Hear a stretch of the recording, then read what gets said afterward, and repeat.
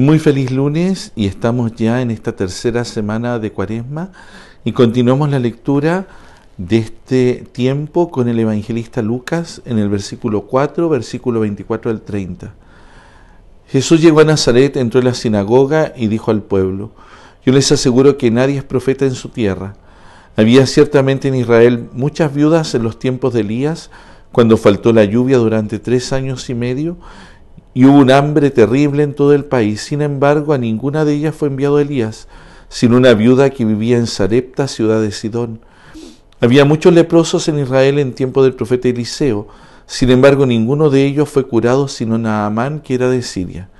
Al oír esto, todos los que estaban en la sinagoga se llenaron de ira y levantándose lo sacaron de la ciudad y lo llevaron hasta un barranco que estaba ahí en el monte sobre el que estaba construida la ciudad para despeñarlo. Pero él pasando en medio de ellos se alejó de allí. Palabra del Señor. Ciertamente el Evangelio de hoy nos pone en la perspectiva de cómo Jesús es un signo de contradicción para su pueblo. No es acogido en Nazaret donde se había criado, no lo acogen como profeta, y pone este ejemplo de Elías y Eliseo que han curado a gente que no era del pueblo de Israel porque alude a una realidad. Dios no mira solo la condición del hombre, no mira su raza, sino que mira el corazón. Y Jesús quiere insistir ahí en medio de su pueblo y con sus compatriotas que Él ha venido a traer esta vida nueva a los corazones. Ciertamente para el mundo israelita, para el mundo judío de la época de Jesús, fue difícil comprender el mesianismo de Cristo. Muchos de ellos esperaban un Mesías totalmente distinto, casi como un jefe de ejército. Y sin embargo, el Mesías que ha venido es el Mesías que promueve la paz, promueve el amor, la misericordia.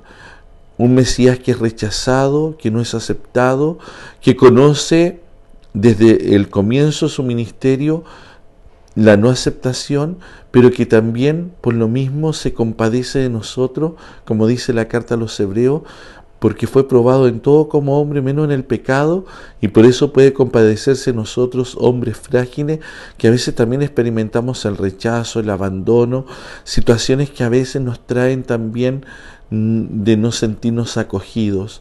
Jesús hoy día tiene la valentía de estar ahí y pasar en medio y sigue adelante pese a no ser querido ni aceptado. Jesús que continúa. Cuando a veces nos venga la adversidad, continuemos en el camino, no demos pie atrás, avancemos y confiemos siempre en el buen Señor que nos acompaña siempre en nuestra vida. Que tengan un muy feliz lunes, un muy buen inicio de semana.